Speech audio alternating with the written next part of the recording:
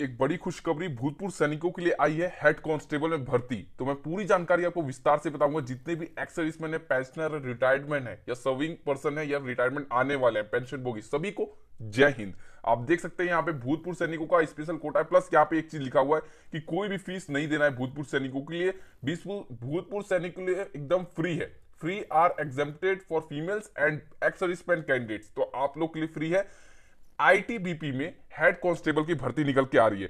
सारी जानकारी मैं विस्तार से देना शुरू करता हूँ। सबसे पहले बता दूँ, अगर आप हमारे साथ नहीं जुड़े हैं तो जुड़ जाइएगा। यहाँ सबसे पहले भूतपूर्व सैनिकों का सभी अपडेट दिया जाता है। आपको भी पता होगा, आप इस वीडियो को देख रहे हो। आपको सबसे पहले हर एक नोटिफिकेशन मिलती है। अच्छी बात तो यह है, सरल और सटीक शब्दों में हर कोशिश करता हूँ मैं आप लोग तक न्यूज़ पहुँचाने का। तो आप सब्सक्राइब कर लीजिएगा। नीचे लाल कलर का एक बटन होगा और साथ में घंटी होगी, दोनों दबा लीजिएगा। प्लस हमारा व्हाट्सएप ग्रुप का लिंक दिया हुआ है नीचे, जहाँ सबसे पहले जी हाँ दोस्तों, सबसे पहले जॉब अपडेट आपके फ़ोन पे मिल जाता है आपको व्हाट्सएप के थ्रू तो अब स्टार्ट करते हैं Indo Tibetan border police force मतलब आईटीबीपी ने निकाली है भूतपूर्व सैनिकों के लिए रिज़र्व कोटा हेड कांस्टेबल के पदों पे। ये मिनिस्ट्री ऑफ़ होम्स अफेयर्स के अंदर आता है, गवर्नमेंट ऑफ़ इंडिया की निकल, के तरफ़ से निकल के आ रही है। इसमें जो पोस्ट है, वो है हेड कांस्टेबल की। आपको इसमें पे लेवल फोर का पेमेंट मिलेगा। आप देख सकते हैं, पच्चीस हज़ार पाँच सौ से स्टार्टिंग रहेगी और eighty one thousand one hundred आपका रहेगा सेवन पे कमीशन के तहत। इसमें और जो जानकारी है, मैं आपको विस्तार से मतलब कि संक्षेप में देने की कोशिश करता हूँ, ताकि लंबा ना हो वीडियो, क्योंकि काफ़ी बार भूतपूर्व सैनिक बोलते हैं, सर, आप लंबा खींचते हो।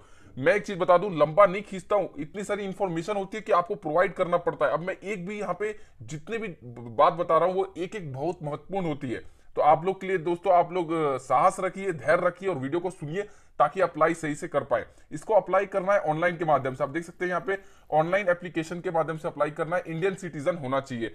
और आईटीबीपी की तरफ़ से मैंने बताया, निकल के ये पोस्ट का नाम बता दिया। यहाँ पे वैकेंसीज आप देख सकते हैं कि मेल के लिए वैकेंसीज कितनी है और अनरिजर्व के लिए कितनी S C S T OBC कितनी है। यहाँ पे भूतपूर्व सैनिकों का इसमें सब में आरक्षण है। आप भर्ती में देख सकते हैं कि हेड कांस्टेबल की जो भर्ती निकल के आ रही है, इसमें इतनी वैकेंसीज है। टोटल 90 वैकेंसी है इसमें और 158 वैकेंसी इसमें है दोनों हेड कांस्टेबल की है, लेकिन एक में है मिनिस्ट्रियल की डायरेक्ट एंट्री है एक में इसमें L D C I serving person जो आई से रिटायर्ड है उनके लिए ये वाला है।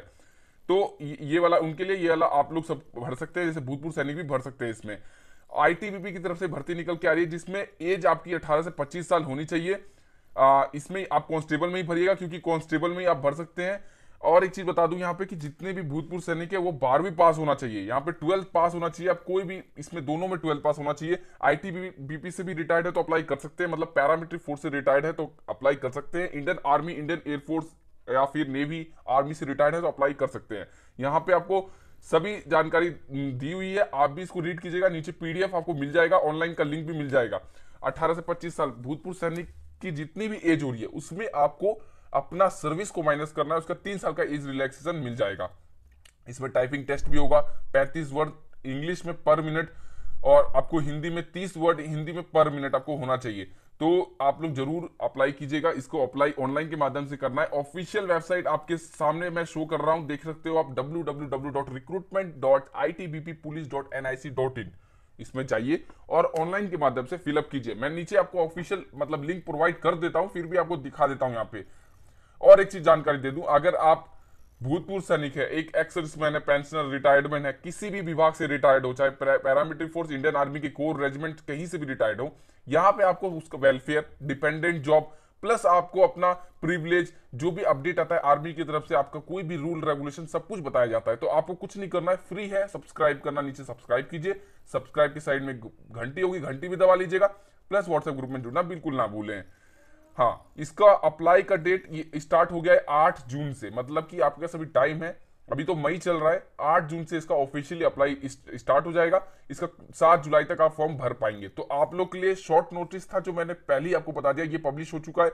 इसमें साफ़ साफ़ लिखा है, सात जुलाई इसकी आखिरी डेट है और आठ जून से स्टार्ट होगा अप्लीकेशन तो आपके पास अभी अच्छा खासा टाइम है। अभी आपको सबसे पहले मैंने अपडेट करवा दिया। इतनी न्यूज़ निकल के आ रही है आईटीबीपी के लिए। तो आठ जून से आप ज़रूर अप्लाई कर लें। अभी तो मई चल रहा है, बाईस तारीख है आज। तो यही पूरी जानकारी थी आईटीबीपी की तरफ़ से। हेड कांस्टेबल की भर्ती निकल के आई थी। इसके एडिशनल में और एक जानकारी देता हूँ। जितने भी एक्सर्विस मैन है, वो अगर SBI guard M D railway जिला सैनिक board bank job BSc warden RBI income tax security guard state police government job ऐसा inspector petroleum Indian post office या फिर फॉरेस्ट डिपार्टमेंट जिला तहसील, बिजली विभाग या रिलायंस में जॉब खोज रहे हैं या ढूंढ रहे हैं तो आपको कुछ नहीं करना है। हमारे साथ जुड़ना है। हम ये सब जानकारी आपको समय समय पर देते रहते हैं। जय हिंद, जय भारत, वंदे मातरम।